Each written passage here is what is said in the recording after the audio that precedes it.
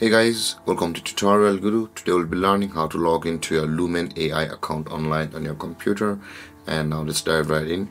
Now to log into your Lumen account on your computer, first open up your preferred browser as I have already opened the Google Chrome.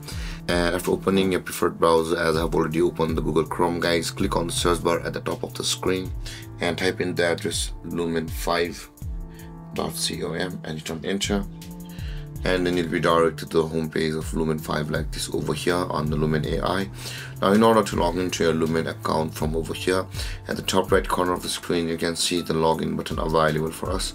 Click on the login button at the top right corner of the screen and the verification will begin. And after that guys you will be on this interface where you can see guys my computer has auto-filled the work email and password for me.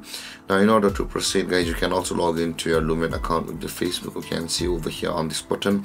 If you click on the login with the facebook button guys login page to your facebook will open. And if you log into your facebook account over there you'll be signed into your lumen 5 account with your facebook account.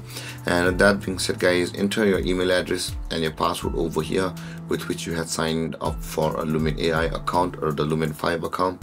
And after entering your work email and your password click on this login button over here and then you'll be signed into your Lumen 5 account online on your computer. And there guys this is how to log into your Lumen 5 account online on your computer. And if you have any confusions or questions regarding the topic feel free to comment in the comment section below. And don't forget to like subscribe and hit that bell icon for more videos. Thank you for watching guys. Peace